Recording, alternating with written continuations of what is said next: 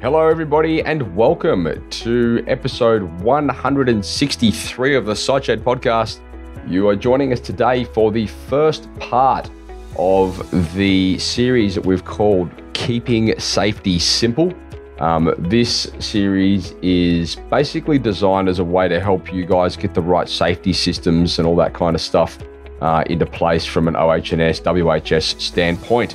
Uh, I'm conducting this series with our former guest, Shane Connolly from Keep It Simple Safety. Um, Shane is a WHS guru, and um, you guys may have been familiar with him through some of the comments that come up within the Facebook community. And he has also uh, been on the show many, many, many, many, many moons ago. Uh, we did a series um, on occupational health and safety. Oh, wow, that was all the way back in uh, May of 2016, which I'll post some links to uh, within the show notes so you can go check that out. In this series here, we've dived into, I suppose, the world of WHS in a little bit more granular fashion. We've got the first episode, which you are here listening to today, which is called Getting the Right Safety Systems in Place. Um, and the following episodes are responding to incidents correctly and then moving forward after an accident. We'll wrap it up. So this is the first part, guys. Uh, please make sure you have all this stuff in place. I know it can sound a little bit tedious, but it is super important, um, and it can protect you and it can protect your team. So, guys, enjoy, and if you do enjoy it, please go and leave us a review on iTunes, Stitcher, SoundCloud, Spotify, YouTube, wherever you consume your podcasting media.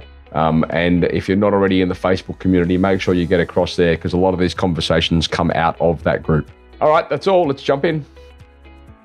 The SiteShed podcast is made possible because of Tradie Web Guys, creators of beautiful websites designed specifically for tradies and contractors. If you're tired of dealing with web designers that have no idea about your industry, then head across to tradiewebguys.com.au and reach out. Like many companies from all over the place, you'll be very glad you did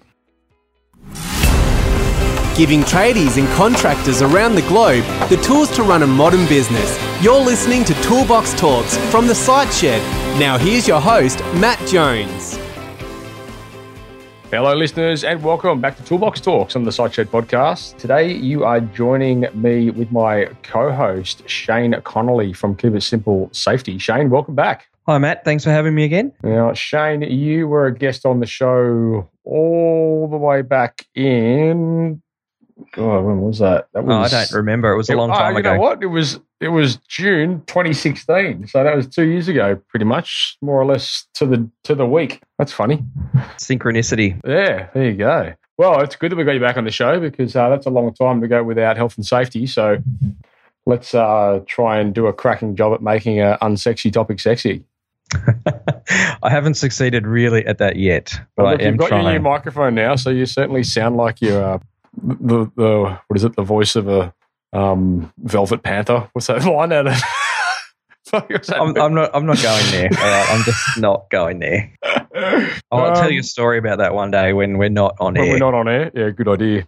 So Shane, anyway, we've uh, we're here today. We're talking bit, uh, about OHS, WHS once again, and um, uh, we have titled this series "Keeping Safety Simple," which of course ties into your business. Keep it simple, safety, and um, we're talking about three things. Uh, the first episode is going to be uh, getting the right safety systems in place, and there's well, as you know, you're part of the community. We've had a lot of conversations recently around systems and procedures, and everyone in the group is pretty mad for them. So I think uh, that is going to be a pretty popular episode. Um, the second episode, we're going to be talking about responding to incidents correctly, which we've never actually done before. So um, I think that's kind of a big thing because I mean, I've certainly worked in companies where um, people have been injured and it wasn't managed properly. And as we said off air before, like it can it can almost be the end of a lot of companies if it's not done correctly. So that'll be a good one.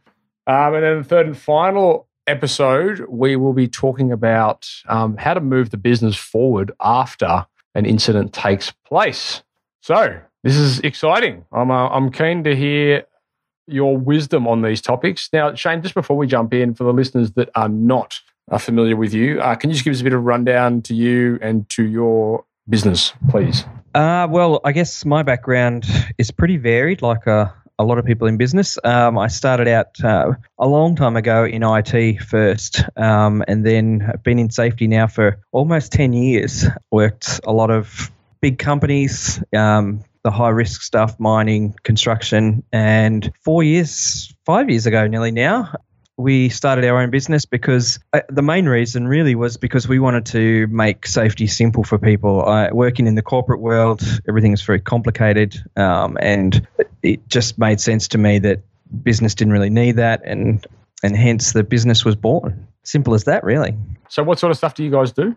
We do, well, we do a whole range of different things, but our core business is helping small business, um, you know, trades, small workshops, uh, less than sort of 50 employees to put systems in place, safety systems, policies, procedures, and manage their safety going forward, whether it be in a cloud based platform or whether it be a paper based system. Um, we help people put those systems in place, customized for their business, and help them to keep on top of things yeah, moving cool. forward. So, in, in this first um, episode, Shane, we're going to be talking about getting the right safety systems in place. Now, I imagine that encapsulates quite a vast array of areas to cover and things, you know, things that people, business owners need to consider, many of which probably would be quite foreign to people.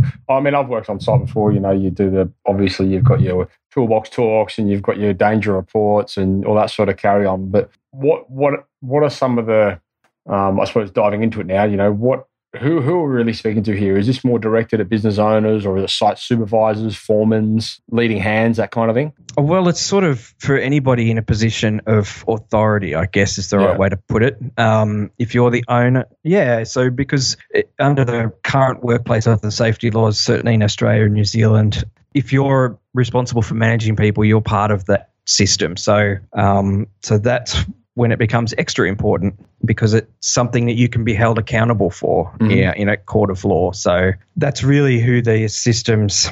I mean, the systems are good for a business, full stop, but this is more directed at making sure there is a, a way to do things that is the right way, I guess. And I mean, look, there's really a responsibility, I think, on everyone, isn't there, to ensure that you know the workplace is safe and that your co-workers and colleagues and friends and associates and whatever are operating in a manner that is deemed safe. And I mean, look, I hate to use the you know the, the term common sense, but I mean a lot of it is common sense, isn't it? The problem is, I suppose, common sense isn't overly common.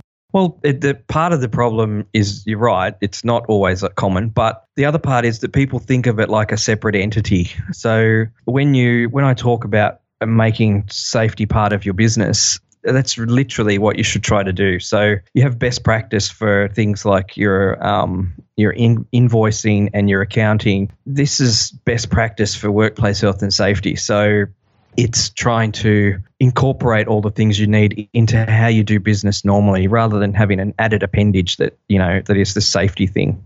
Okay, so let's talk a little bit about um, why this is important. I mean, obviously, um, you know, we, I suppose at the end of the day here, we're talking about protecting the business. But I'd like to know a little bit more as to some of the reasons why it's important to have these systems in place, either that being for the purpose of an audit or a builder or the fact that when an incident happens, like why we need to do this? Well, there's a there are a variety of reasons, but the and what are they? so first and foremost, it is to protect the business. Every business should have policies and procedures to let people know that a what the expectation is. So sometimes the simplest reason for having this sort of stuff is so that your workers and your managers, supervisors, whoever know what they're supposed to do if there's an incident or what's meant to happen when, you know, XYZ happens. That's really the crux of it. Just like you would put a process in place for your invoices, you want to know that if X happens, then Y is the answer. Mm so out in the field, that's also what people want to know. You know, if a worker finds something that's not right, then what are they supposed to do? Um, you know, and you can't rely on that common sense that you were talking about before, because common sense tells you you talk to your supervisor. Right. Having a policy and a procedure just outlines that in big bold letters that that's what you're meant to do. What's the um the framework, Shane, behind and this is the ongoing battle, I think, with policies and procedures in general. But um, you know, what's the the ideal framework behind getting people to comply with these policies and making sure they're following them correctly? And you know, what's the accountability, or what do you I mean? What do you see that works best? Like I said, the the best way I mean, a, a, lot of this comes from the top in your business. If you talk like about safety like it's the ugly cousin that no one invites to the barbecue, then that's how everybody feels about safety in your business. So leading from the front is the best way to get people to do what you want them to do.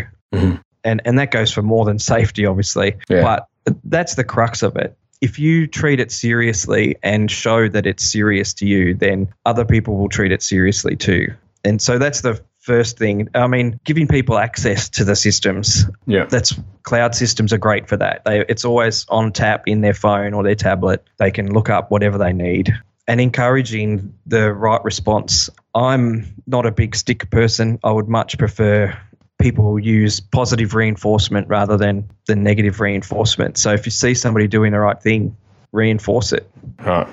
Bring it up at the meetings that kind of that's the stuff that really gets people because your system is is a system like anything else you it, it'll only work how effective it is is proportionate to how much effort you make it uh, put into it making it work yep yep yep yep so when we're talking about i suppose we call this getting the right safety systems in place what are the wrong safety systems that's an excellent question. Thank you. The, the wrong safety systems are systems that don't fit your business. So I won't mention any names, but there are lots of places where you can download templates and uh, okay. systems that you can buy online. And whilst technically they are full of all the right information, if you don't go through and edit it and make it suit your business, then you're really just stringing yourself up. Because if you say that you're going to do X, Y, and Z in your business and that's your signed off policy or procedure, then that's what you have to do whether it suits your business or not. So, the first and foremost thing is to have something that suits your business. If you don't do confined space work, then you don't need any policies and procedures about confined space. Right. But if that's the core of your business, then you need more than just a couple of lines. You right. need serious you know policies and procedures around that particular area so having something that fits your business is the is the real key. And not just because it makes sense to do that but because it will make the system work better if it fits your business. Of course. And so you know you're right it's the same old story with most things. You can always go and find templates and stuff but the the magic really happens when you can take those templates and customize them to your business because then it all becomes relevant and things actually start working. Well it makes sense to people then you right. know people look at these some of those documents and just don't even bother because it, it's complex and it's hard for them to understand. You know, someone was saying to me the other day that in the construction industry in particular, you're really talking about on average a year 10 literacy level. So mm-hmm. we're not talking about, and you know, I know a lot of these guys and they're great guys, but they're not scholars. They right. don't want to read what a lawyer's written. Right. They want they want something in plain English that they can understand. Yeah, yeah, yeah and that's the other side of having you know the right safety systems it's something you can understand as well as everyone else we interrupt this podcast today to talk to you very quickly about Tradie Web Guys content creation program. That program has been designed specifically for trade based organizations as a way that you guys, as trade business owners, can start creating content that enables you to engage better with your customers and your potential customers. It will enable you to build trust and build rapport because what you're doing is you're investing in educating them. Biggest problem that we see with our customers today is that they're not regularly updating their websites. And that's a problem because, first of all, the search engines are looking for that. And second of all, potential customers are also looking for it. Tradie Web Guys content creation program has been specifically designed to help you get regular, relevant content on your website consistently every month. We know that it's hard when you're out there on the tools, and we know that sometimes you don't always have the time to be able to do these things yourself. So we're taking it off your hands for you. It's a service that we're offering for you guys. We want to make sure that you're getting this done because we know how important it is. Anyway, head across to tradiewebguys.com.au forward slash content, fill in the form, and one of our representatives will come back to you. Shane, with um, safety systems, like when we talk about, um, you know, um, standard operating procedures and business um, systems or policies or whatever, um, they typically refer to like roles and responsibilities within an organization, which more more often than not stems down from the organizational chart, or it should anyway. You know, you got your org chart, you've got your departments, you've got your roles, you've got your responsibilities, etc. Is it a similar framework for the um, safety systems, or are the safety systems more of a canvas? No, that your safety system should be exactly follow on in that. In the ideal world, you would have job descriptions that encompass those roles mm-hmm. and responsibilities, as well as having them in your, you know, safety manual or whatever mm-hmm. you want to call it. Um, because that's the key part is to outline what people's responsibilities are in the business. So if you're a worker, you have to follow the procedures. If you're a manager, you have to um, enforce them and monitor them. You know that yeah. kind of stuff. So is that kind of when you say that? Do you mean um, relevant to uh, the job role or the task at hand are you are you sort of more referring to? It's more the job role. So okay. you, I mean, as part of your induction, for example, our inductions include your responsibilities um, inside the business. So, and and in general, everybody has the same sort of core responsibilities to follow the procedures, to report incidents, to do this, to do so on. So everyone has those, and then if you're a manager or a supervisor, you sort of get a few extra ones on top of that. Um, in general, obviously, I've worked in trades before, and I, and I found that a lot of the well back then, mind you, it was it was a fair while ago, but albeit like the, a lot of the policies and a lot of the you know things that we were doing, safe work method statements and all that kind of stuff. It all typically referred to an individual task that was being carried out, and then that task wasn't necessarily wasn't necessarily um, handed to people within certain job roles. It was just more anyone that's actually doing that task. that could have been the apprentice, it could have been the tradesman, or whatever. Yeah, and that so that's more um, in a,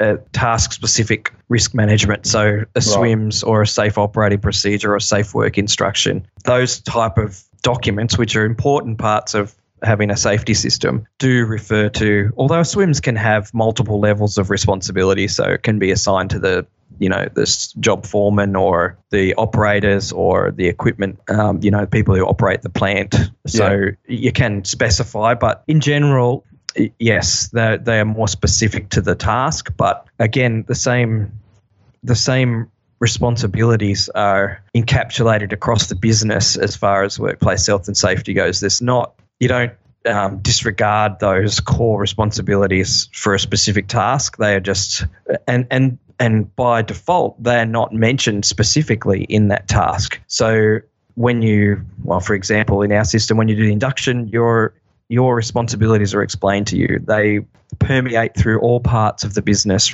irrespective of what you're doing or where you're doing it. Okay. So, in regard to, um, and I know that you, you know, you, you mentioned you know, templates and all this kind of stuff, but being that we're talking about getting the right safety systems in place, what are some of the fundamental systems that every single business needs to have um, as a as a foundation? So every business should have, at the very minimum, a workplace health and safety policy. Okay. So a, a policy is just a statement of your position as a business. So in effect, you're saying workplace health and safety is important to us. What we're going to do as a business is X, Y, Z. What employees need to do is, you know, A, B, C, and that's how we're going to achieve good workplace health and safety practice. Yeah, gotcha. Um, so generally like a one pager sort of thing. And then behind that, to put the system behind that piece of paper, so to speak, you have a workplace health and safety manual or a safety management plan or any number of other names that it's called.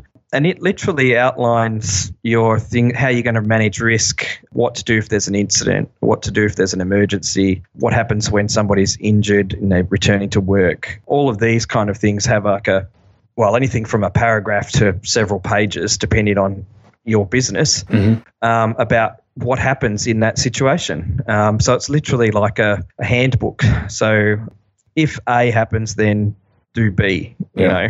So, and once you've got that in place, then you really have got the crux of it sorted out. You can get much more elaborate and much more complex and, and add in things like safe work procedures and some businesses require SWMS for high risk work. Mm-hmm. Or you can go, you know, above and beyond and get certified systems, which are to Australian standard or international standard if you want to. Okay. Which are much more complex and, you know, seriously audited against. But but that that's the crux the policy and then you have procedures based around individual parts of the business like risk management i'm curious shane like i mean obviously we're talking largely to well pretty much entirely to trade-based businesses however you know in today's landscape a lot of trade-based businesses have um, you know a, a, large component of their organization which is not out there swinging hammers and on the tools how does the um, safety systems and procedures apply to um, say, a more managerial office based scenario? Well, it, the beauty of having a proper or the right safety system is that it applies across the board. So the manual handling procedure is the same whether you're in the office or whether you're out in the field. You know, don't pick up something you can't handle. You know, use a trolley if you have to, get help. The idea is that you don't have to have two separate systems. Right. The premise behind the whole thing can be used across any environment. And that's the beauty of having, well, a simple system mm-hmm. is that it, it's not, you can apply the same procedure no matter where you are because it makes, it actually makes sense to you rather than being, you know, some elaborate thing that mm-hmm. most likely nobody's going to read anyway. And that's a, that's, pretty accurate, isn't it? I mean, let's be honest. I mean, that goes for, I mean, systems in general. Um, you know, until like like getting people to, to, be accountable to these systems and making sure that they're you know they're constantly um, up to speed with how things are supposed to be running. I mean that is a big battle. Yeah, I mean you you know we've in in the course of our business we come across you know people who have had other systems in place and you know a lot of our competitors for example you would have a 100 page safety management plan now even as the boss, I would struggle to read 100 pages yeah. um, of a safety management plan. Ours is about 25 because at some point you, you know, we've all done training and we all know that how big people's attention span is. Mm-hmm. And so you've got to cater for that and get your message across in a very succinct way that is easy for people to get. And like I said, if you customize it, you can add bigger sections in that are more particular to what you do. But for the basic stuff, you've got to keep it really simple. Mm because people simply won't. I, I've seen people sign stuff so many times and not read it because it's too complex for mm-hmm. them. So, you know, they run the gauntlet, which, you know, is crazy, but that's human nature. So, Shane, if we, um, you know, if we do get these right systems in place, what what are some of the things that we can inevitably avoid? So the first thing that you can avoid is n- not knowing what to do when something does go wrong, especially in small businesses like all of the listeners will have generally. You don't have an incident every week and you don't have a workplace health and safety person to deal with it. So you are generally, the first thing you want to know is what the hell do I do? So that's the first thing that a system does. The second thing is tells you how to recover from it. So what to do next, how to manage the injury or whatever it might be. If worst comes to worst and the regulator comes and investigates you um, because it's a serious incident or it involves a you know an apprentice or whatever reason then it literally protects your business because they will come and investigate. They will have a checklist of things that they are required to you know that you're required to have a policy procedures is, are they been inducted? Do they have ppe have they been trained? And if you can show all of those things then mm. you know you may still get a fine or something like that because for whatever reason they come up with, mm. but it will be nothing compared to what you would have got if you had no systems in place and they will just literally throw the book at you. I know one of my um one of my good friends he's uh, like a like a project manager or project engineer or something on one of these on one of these construction companies and he they had a project out in Perth where the apprentice it was tools down basically it was like they'd finished for the day and the apprentice left his, I think it was his phone up on the roof or something, and um, he, everyone was ready to go, and he's like, "Oh, I've left, left the phone up there," and he basically ran back into the work site, jumped up on the roof, no harness, ran along the framework, fell, killed himself. And he's, he's only a kid, you know, he's like sixteen or something. And it was a massive, obviously, a massive issue. But I mean, they, they're a big company. They have all those procedures and stuff in place, but it was still like it was still an intense investigation, you know, on, on them. As and, and and when you look at that, you think, well, okay, the kid bloody climbed up on a roof with no harness and ran across it. Like, you, there's got to be a line there where you say, okay, we can't. How, there's a line there, right? When you think, okay, well, the business can obviously do everything they can to try and protect people, but when people do something stupid, like you can't yeah. protect stupidity, can you? Well, no, you can't, but you can protect your business from it. Right. So, Right. have, the first thing that investigator goes and looks at is all of that paperwork, um, all that stuff that irritates people. Mm. You know, like I said before, they inducted, are their policies, procedures, all this sort of stuff. So they, because what they are trying to establish is your intent as a business. So if you if you don't have any policies and procedures, you always shoot from the hip the reason they will come after you is because you're clear that your intent is not to do the right thing. You've made no effort. You've tr- never tried to have systems in place. And so and and the judge will tell you that when you end up in front of him. If you try if you can prove that you've tried everything you can to have systems in place, you've trained people, all that sort of stuff, then yes, stupidity still happens, but it then is not reflected back on your business Right. and that's really the difference between uh, having systems and not having systems. Yeah. We've had clients who have been investigated for incidents, not serious stuff, but um, and after the investigator comes along, who is not a friendly man, who is not your friend. They are different from the, the regulators that you normally see who do the inspections. The investigators are a very serious breed, and so they come in and they just go through your business with a fine tooth comb. Um, they have no, they have nothing nothing about them cares about your business, your livelihood, your children, any of that stuff. All they are there to do is find out the facts. Yeah. And so when you've got systems in place, those facts are pretty apparent and it's pretty easy for them to get to that conclusion. And then, like I said, it may not mean that you never that you get away with with no slap across the wrist, but it, it will be nothing compared to what would happen if you don't have the systems. Yeah. Yeah. Cool. All right. Well, let's wrap this one up. Um, Shane, on your website, um, the listeners out there, you can head across to keep it simple safety, all one word, .com.au. Um, there's a free online um, WHS assessment there, which they can go and um, partake in. And there's also, are you still running a newsletter? Uh, yeah, and uh, that online assessment, by the way, will literally test you for your system. So if you get on there and you get five questions in and you realize that you're really not answering the questions well, that's a pretty good indication, but you will Yep. get a mark at the end. Okay, cool. Well, um, we'll post some links to that in the show notes. But um, let's wrap this one up, Shane, and let's come back with the second part where we're talking about responding to incidents correctly. I think that will be a interesting conversation, one of which I'm sure most people would have no idea. But anyway, that's good. Thanks, Fate. Um, anything else you want to add to that one? No, uh, I'm looking forward to the next one. All right. That's all, listeners. That is a wrap. Thank you for listening to another episode of Toolbox Talks. If you're liking what you hear, then you can head across to the siteshed.com where you can join our community by signing up to our Toolbox Talks. Uh, you'll get sent a weekly notification, which is basically a highlight of everything that we've spoken about during that week, along with any other industry news that may be relevant or specific to the trades. If you're enjoying the show, you can head across to iTunes, Stitcher, or SoundCloud where you can leave us a review. Uh, that would be fantastic, and all the reviews get read out in the show. Uh, likewise, if you have any friends or colleagues that you think would benefit from the show and the, the episodes that we create, then please go ahead and share it with them.